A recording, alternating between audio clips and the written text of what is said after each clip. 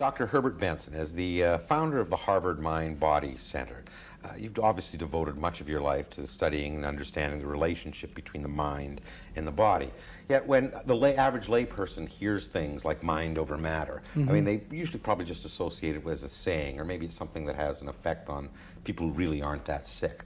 I mean, you in turn have found something very different in terms of the power of the relationship between mind and body. Oh, there's no question but that the mind profoundly affects the body.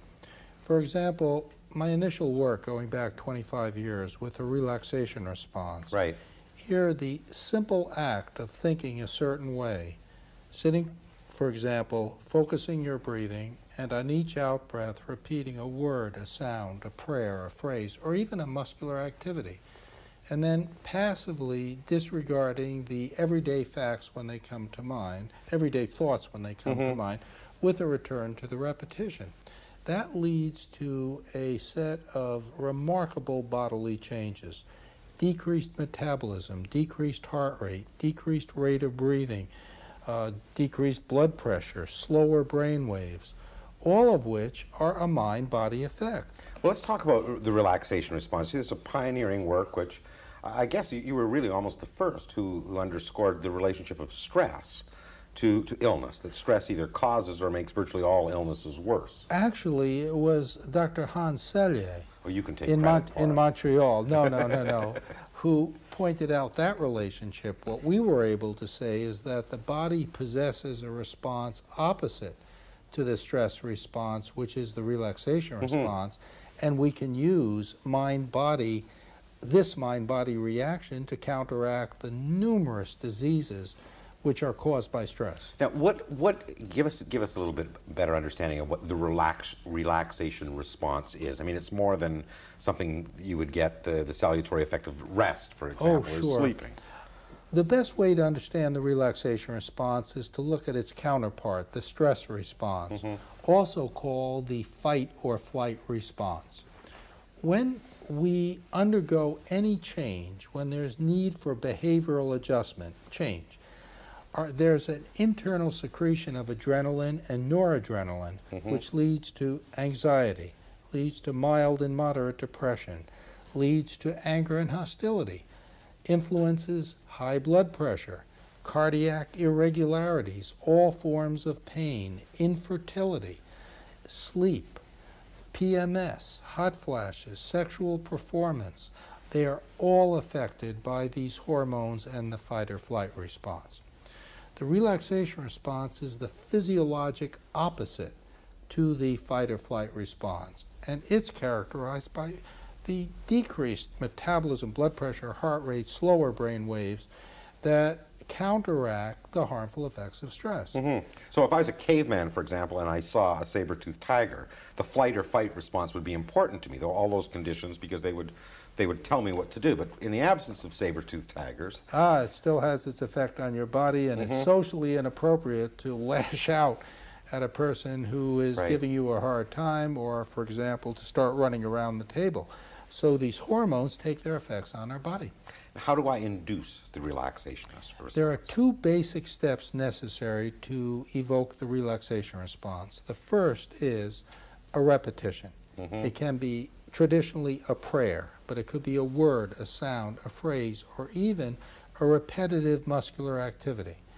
Secondarily, everyday thoughts come to mind. They should be expected, but when they come, you simply say, oh well, and passively return to the repetition. In other words, to passively ignore the everyday thoughts when they occur and then return to the repetition. This is, again, no more complicated than chanting? chanting, a mantra, meditation, the Lamaze breathing techniques, yoga, uh, progressive muscular relaxation, um, autogenic training, all of these evoke the relaxation response. Now, I understand that of all the various techniques that would evoke the relaxation response, that the most potent of which, in, in your research, happened to be prayer, or something that invoked religious or spiritual meaning for the, the chanter. Yes, but what's important is that it's not that it's religion per se, but it's what the person believes in.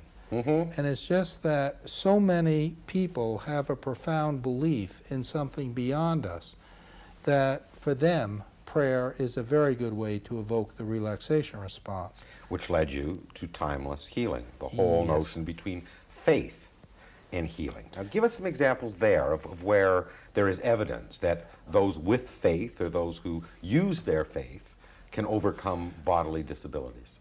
Let's go back to where the medical literature has classified faith and belief, and it's with, within what's called the placebo effect. Sure. The belief and expectancy on the part of a patient, the belief and expectancy on the part of the physician, and the beliefs that come from their relationship can evoke extremely powerful um, uh, happenstances. Let me give you, for example, belief on the part of the patient.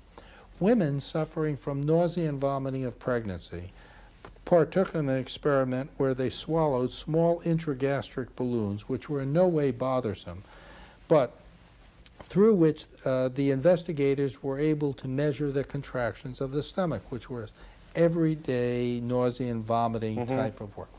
They were then given a drug that they were told would cure their nausea and vomiting.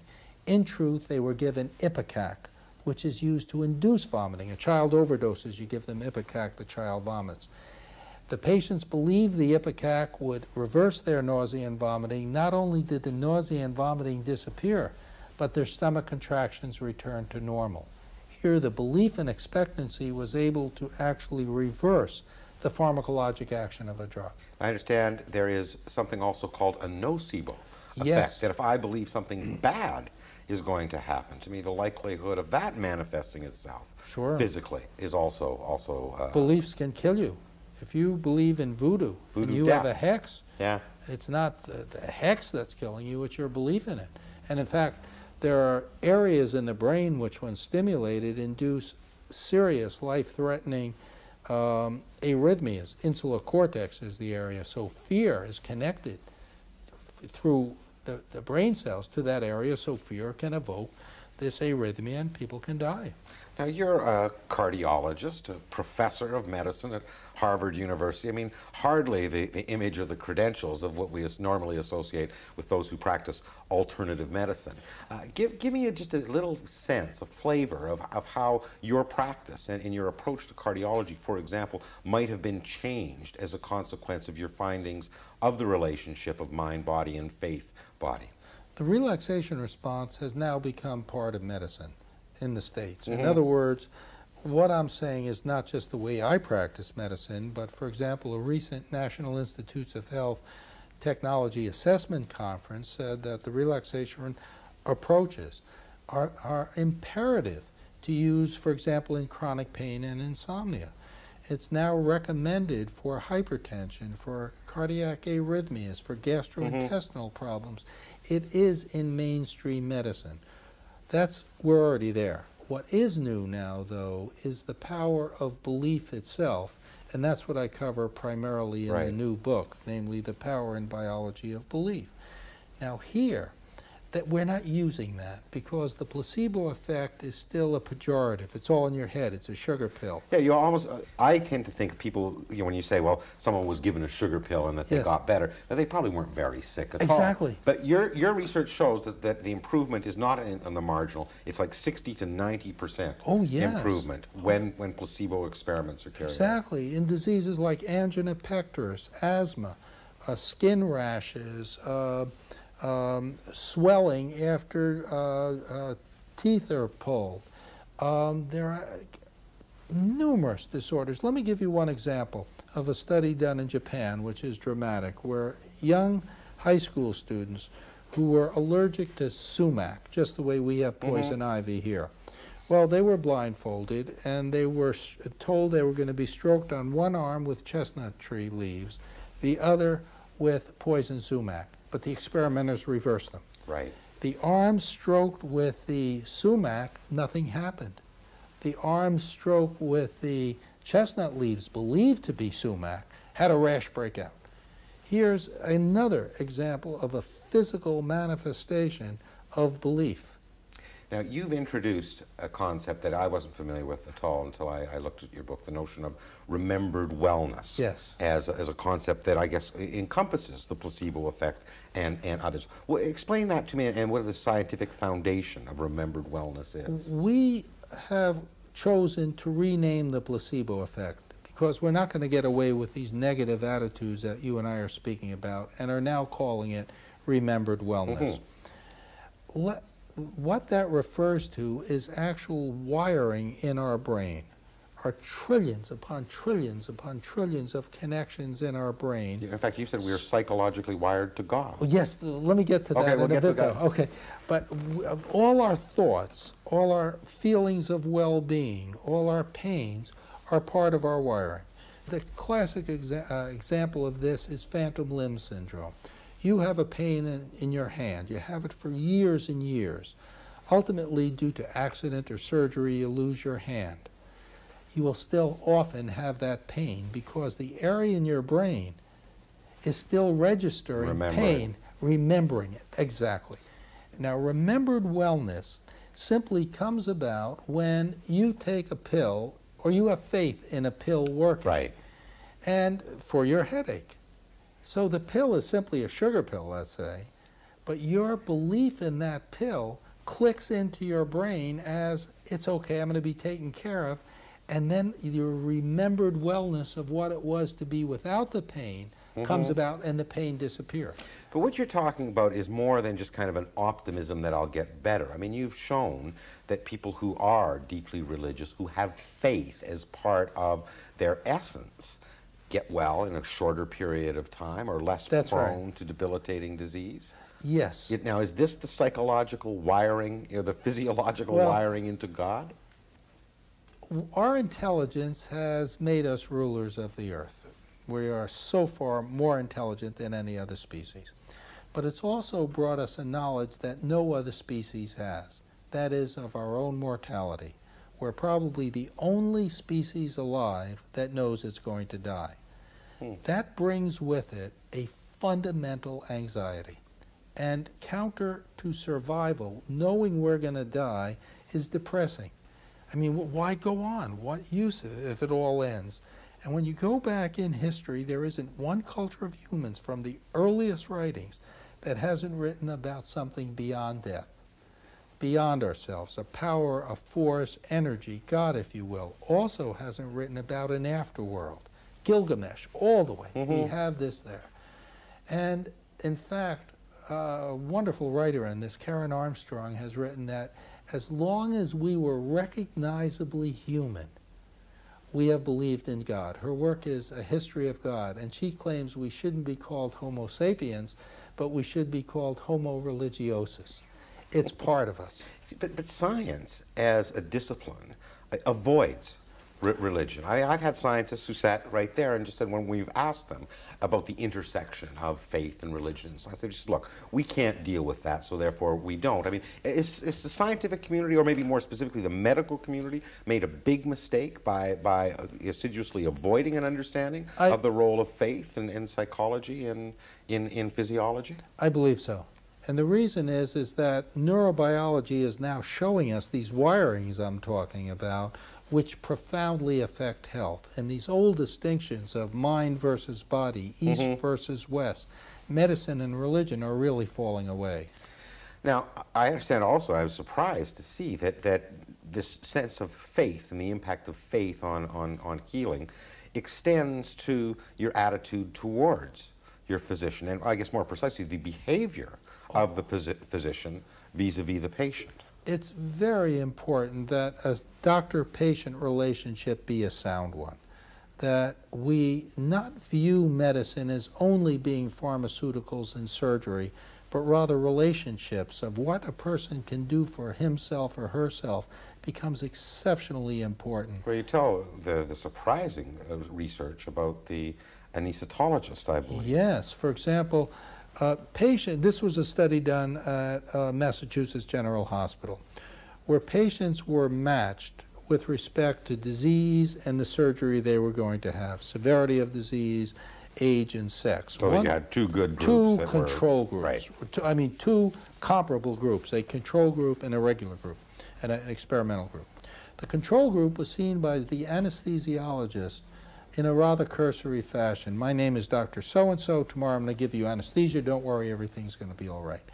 The other group, the experimental group, was seen by the same anesthe- anesthesiologist. He or she sat on the patient's bed, held the patient's hand, told them exactly what to expect in the way of pain and suffering, and worked very hard to establish a warm and sympathetic relationship. Mm-hmm. Next day, patients operated upon. Both groups were allowed to have as much pain killing medication they, as they required. The doctors, nurses, and others caring for the patients didn't know to which group the patients belonged. Those who were treated in the compassionate fashion required half the amount of medication, and on the average were discharged from the hospital 2.7 days sooner than the other group. The simple act mm-hmm. of compassion translating into measurably different results. But I mean, I've had the unfortunate experience of having, you know, fairly extensive exposure to doctors over the last little while. And in my experience has been almost exactly the opposite. They are the most negative breed I've ever seen in my life. You ask, how long do I have to live? Well, we don't know. You know, what are my chances of recovering? We don't know. I think this will have to change. If we want to optimize our medicine, uh, relationships are critical. But we want to establish a new balance. I liken this to health and well-being being akin to a three-legged stool. One leg is pharmaceuticals, another leg is surgery and procedures, but the third leg is self-care. And in that self-care leg, we have nutrition, we have exercise, we have the mm-hmm. relaxation response, and we have belief. A critical part of belief is the relationship you have with your physician. And the belief in the physician. you must feel comfortable. There's a rush towards alternative medicine, which I believe is essentially remembered wellness. There's nothing that works in homeopathy. It's your belief in homeopathy that mm-hmm. makes it work. But why are patients going there? Because they're being cared for in a compassionate way by practitioners of alternative medicine. Now, speaking of one of those legs on the stool, I mean, I could see how the faith community would welcome your uh, your research and the work that's being done at the Mind Body Center. But how how about like the pharmaceutical sector, for example? I mean, would they see this as a, a terrible threat? Very interestingly, we're working with several pharmaceutical houses who see that they can branch out into behavior and that belief in their pills will take their worthwhile pills and even make them work better. So I see us actually as forming a partnership with them, and there are several who are quite interested in doing this.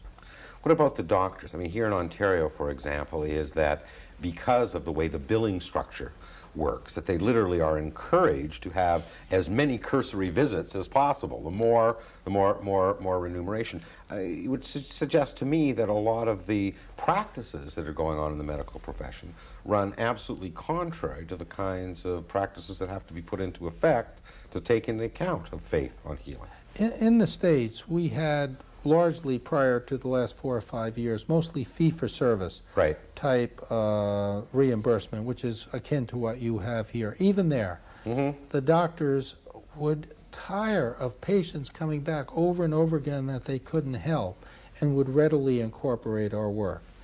In a managed care system where there's capitation, where they're prepaid, Right. our work decreases visits. And in that sense, in that kind of system, it's really money in the bank. hmm What uh, I mean, but but the trends really do seem to be in the in the opposite direction. Where the, because and mostly because of I don't think this is any kind of malevolence. It's the it's the fiscal constraints that's on the healthcare system in North America, increasing reliance on technology. You know, trying to uh, turn relationships over as, as quickly as possible. What do you have to do to reverse the Patient- trends? Patients will do this. Uh, First of all, patients will demand a more caring type of medicine. Secondarily, at least in the States, 95% of people believe in, in God. And the people are flocking towards such healers. And now, it may not be God itself that's doing the healing, but belief in God. But it's a win situation. If God exists, wonderful, it's doubly win. Either way, this kind of belief and belief in the power of belief itself often engendered by a doctor, will Mm-hmm. have to be paid attention to, and the systems will change because they'll get so expensive that they'll they, they won't be able to sustain themselves. One of the trends we've seen in society generally is that if you ask people today what's their number one health concern related to work, stress is right at the top of the list. It's no longer, you know, getting a rusty nail going Yeah. through my work boot or a, or a brick falling on my, uh, my safety helmet. I mean, the stress is endemic. That's right. In, in our society now. I mean, what does this suggest, your findings about what we should be doing, not simply in terms of medically to treat the symptoms of stress, but societally to reduce stress? Stress comes about from any situation that requires behavioral adjustment. In other words, any change is stressful.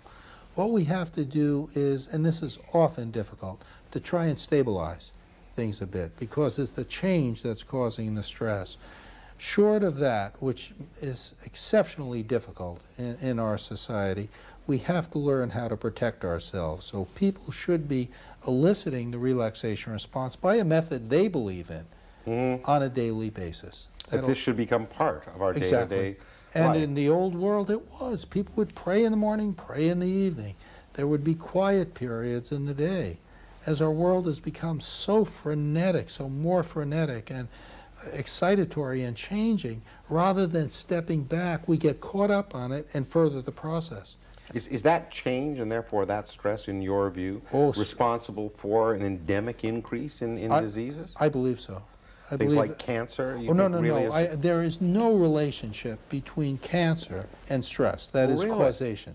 No, but stress does affect the immune system. So the course of a cancer after it begins might be. that the immune system doesn't have the strength. there are, exactly. But there are many diseases that are related to stress in a major way hypertension, anxiety, insomnia, infertility. Mm-hmm. And the proof of this is, first of all, the, the hormonal changes. Secondarily, the results we're getting. We can cure 75% of insomniacs now. 36% of our infertile couples become pregnant within six months after going through our program. through the relaxation. The relaxation response plus a lot of cognitive work, you know, stress management. Uh, we can treat the symptoms of cancer and AIDS. Frequently, in the early stages of cancer, it's not the cancer causing the symptom, but your worry about being a cancer. The very words "you have cancer" changes you. I mean, and frequently symptoms will come from that. Or you're HIV positive, you may feel fine. And then but as soon no- as you're diagnosed, diagnosed, symptoms, be, we know how to treat them. You, you were even saying that, that when I get a doctor's appointment, I normally feel better. Exactly. Just knowing that I'm going. Or you're sitting there and suddenly in the doctor's office and suddenly Yeah. the symptoms disappear. Now, you would be the last to discount the tremendous advances that traditional medicine That's right. has made in, in, in all fields, the pharmacological, in terms of surgical.